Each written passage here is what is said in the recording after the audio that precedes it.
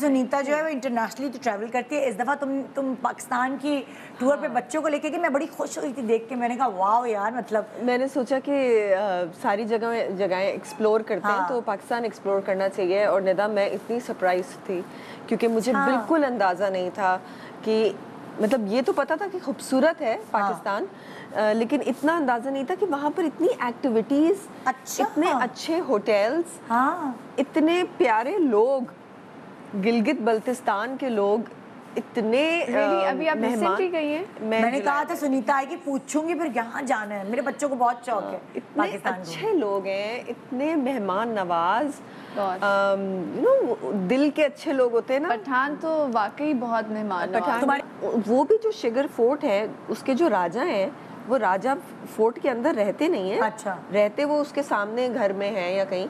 लेकिन वो उन्होंने उसकी जो एंट्री टिकट है उसका भी जितने फोर्ट्स है सबका ट्वेंटी परसेंट वहाँ के लोगों के लिए अच्छा तो मुझे एक बात बताओ ज़ाहिर तुम इंटरनेशनली भी ट्रैवल करती हो। इस दफ़ा तुमने कैसे इरादा बनाया कि हम मैं पाकिस्तान में ट्रैवल करूँ? हाँ वो इस तरह कि मेरा बेटा काफ़ी अरसे से मुझे कह रहा था कि हम कभी पाकिस्तान मैं कराची से बाहर नहीं गया कभी हाँ। तो अ, मैंने कहा हम बिल्कुल जाएँगे लेकिन मुझे ऐसा लगा कि छोटे बच्चों के लिए ना बहुत ज़्यादा कोई एक्टिविटीज़ नहीं है वहाँ पर अच्छा।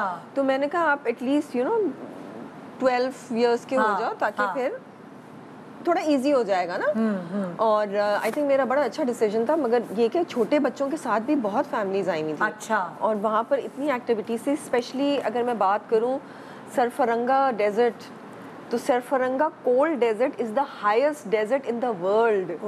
पूरी दुनिया का जो ठंडा डेजर्ट है वो सबसे जो हाइट पे है वो सरफरंगा डेजर्ट है जो कि पाकिस्तान में। जो बल्तिस्तान में? अ, स्कर्दू के पास। स्कर्दू के पास। स्कर्दू के पास।